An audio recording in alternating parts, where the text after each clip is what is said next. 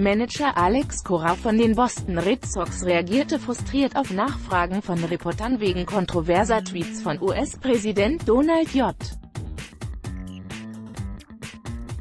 Trump bezüglich dessen Handling der Hurrikankatastrophe auf Puerto Rico. Cora nannte die Tweets respektlos.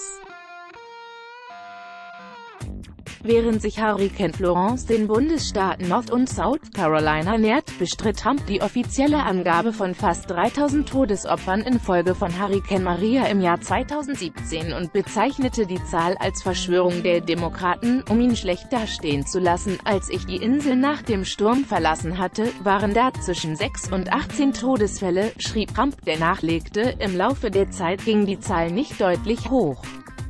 Dann, viel später, fingen sie an, von richtig großen Zahlen zu berichten, fast 3000. In diesem September erhöhte der Gouverneur von Puerto Rico die Todeszahl von 64 auf 2975 basierend auf einer Studie des Milken-Institutes der George Washington University, die von der Regierung in Auftrag gegeben wurde. Alex Cora, es geht um mehr als nur Politik über 3000 Leute zu tweeten ist tatsächlich respektlos gegenüber meinem Land, sagte Cora, der aus Caguas stammt, einer Stadt ca. 20 Kilometer südlich von San Juan. Wir sehen es so. Ich weiß, dass er es wahrscheinlich nicht so sieht, Cora fügte an, ich hasse es über Politik und all das zu reden, aber ich denke, dass es hier um mehr als nur Politik geht.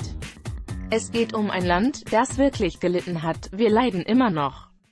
Du siehst die Hurricanes, die sich jetzt gerade aufbauen. Jeder ist panisch. Es ist nicht einfach.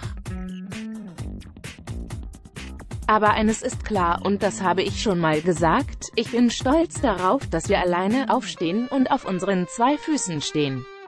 Aber brauchen wir Hilfe? Ja, das tun wir.